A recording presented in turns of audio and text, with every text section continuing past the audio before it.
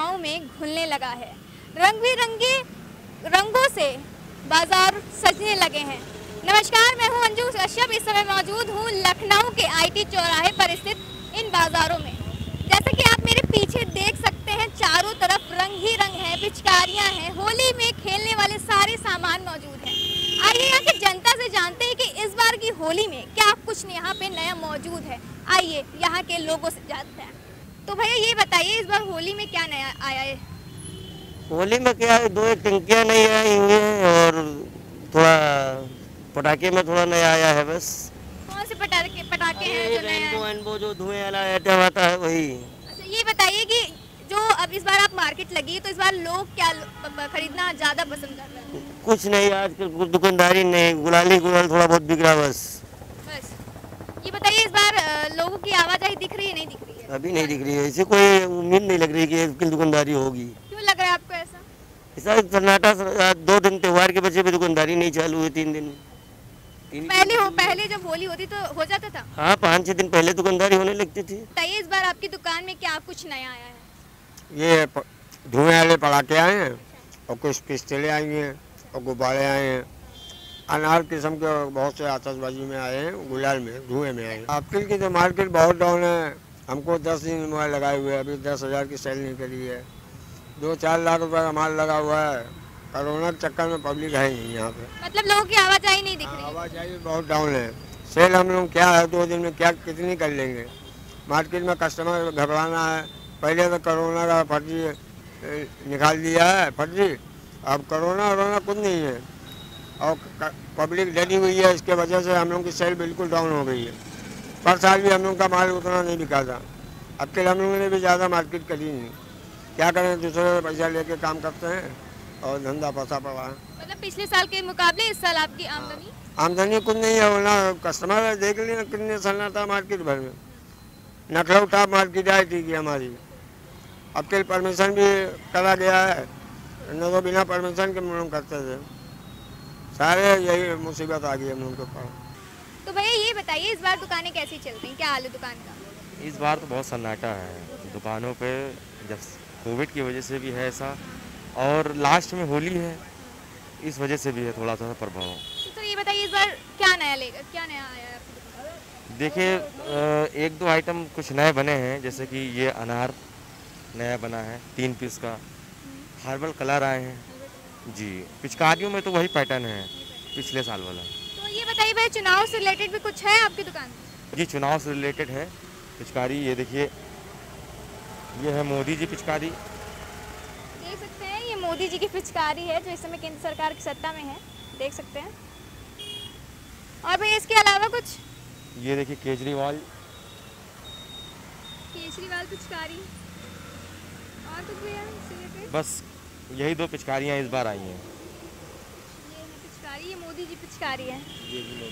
तो भैया कौन इसमें आपको क्या लगता है कौन भारी है इस समय? भारी तो मोदी जी है। मोदी जी हैं? जी। बिल्कुल मोदी जी भारी हैं। देश चला रहे हैं इस समय।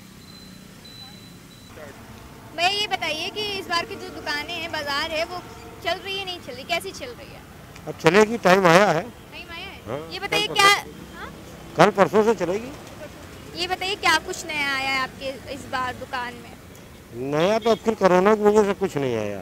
जो पिछले साल था वो इस साल है। नया कोई आइटम नहीं आया। हालाँकि पिछले साल तक तो नहीं दिख रहा था कोरोना नहीं आ पाया था उतना। हम लोग को नहीं पता चल पाया था लेकिन इस बार तो पता है कि हाँ कोरोना आ, आ चुका है और कहर बना रहा है अपना तो क्या कहना अब आदमी होली तो खेलेगा ही खेलेगा बाहर ज़्यादा नहीं निकलेगा घूमेगा घूमेगा घर में खेलेगा घर में इंजॉय करेगा और क्या। हमारे दुकान में नया कुछ नहीं है सब पुराना ही चल रहा है। कुछ गुलाल और कुछ पिचकारियाँ जो हैं सब पुरानी हैं। और कुछ आइटम ऐसे आए इतने महँगे थे इसलिए लाए नहीं गए। लाए नहीं एक आध आइटम लाए हैं। ये पाइप वगैरह जो है बड़े रखे हैं टैंक रखे हैं ये नया है थोड़ा लेकिन बहुत महँगा कोई बिक नहीं रहा है। तो सर इतना महँगा लेकर आए हैं तो बिक रहा है? नहीं बिक रहा है यही तो बात है। कहते हैं कि मोदी सरकार में तो सस्ता होना चाहिए सस्ता क्या हम महँगा लाए बिक ही नहीं रहा है। इसलिए सारा दुकानदार यहाँ परेशान है सब। जी कोविड भी आ गया इस साल तो मुसीबतों का सामना करना है दुकानदारों तो कोई खुश नहीं है इस समय। ये समझिए आप कोई खुश नहीं है। सब सारे दुकानदार परेशान हैं। खरीदारी नहीं कर रहा है खरीदारी जो सामान लेते थे ढेर सा वो थोड़े में काम चला रहे हैं। कस्टमर जो आते हैं थोड़े में काम चला रहे हैं। अब गुल्ला रंग गुलाल ये सब लेते थे खूब भर भर के लोग ज़्यादा ज़्यादा। अब उसमें तो एक हिस्सा लेते हैं चार हिस्से का एक हिस्सा रह गया।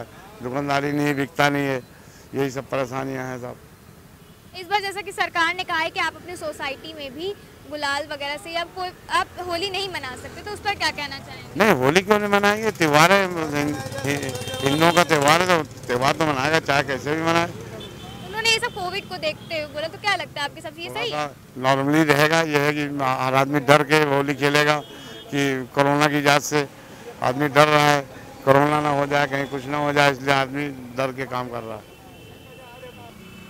ये बताइए कि इस बार आपकी शॉप पर क्या कुछ नया आया? है नए नए आइटम आए हैं गुलाल बम आया हुआ है चटाई आई हुई अनार आया हुआ है बंदूक में कलर भरा हुआ है बच्चे पकड़ के गुलाल निकलेगा।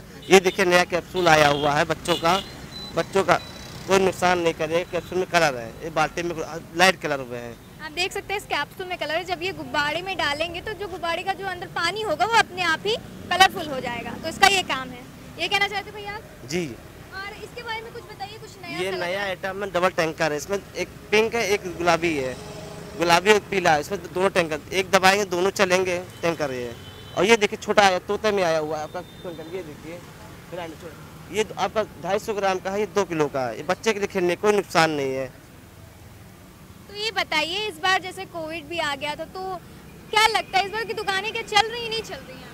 दुकान तो थोड़ी कम चल रही है, बस ये है आपका आइटम जो दीपावली नहीं बनी, दीपावली से बनाने का आपको मौका दिया जा रहा है पटाखे के साथ में। अच्छा तो हाँ आप सही कह रहे हैं कि अब इस बार दीपावली के जो पटाखे हैं, वो होली में भी मौजूद है, वो भी होली के जैसा कि आपने देखा कि यहाँ के दुकानदारों ने मिली जुली प्रति- प्रतिक्रियाएँ दी हैं। कुछ लोगों ने कहा है कि कोविड के आने के बाद से यहाँ की जो दुकानदारी है काफ़ी कम हो गई है। वहीं कुछ लोगों ने ये कहा कि जो हम सामान ज़्यादा मात्रा में पिछले साल लेते थे, वही अब पैसों की कमी की वजह से हमें कम लेना पड़ रहा है। कैमरा पर्सन रवि के साथ मैं अंजू कश्यप, विद्रोही आनंद, लखनऊ। हर खबर पर होगी आपकी पकड़। सब्सक्राइब करिए हमारे चैनल विद्रोही आनंद को और बेल आइकॉन दबाना न भूलिए।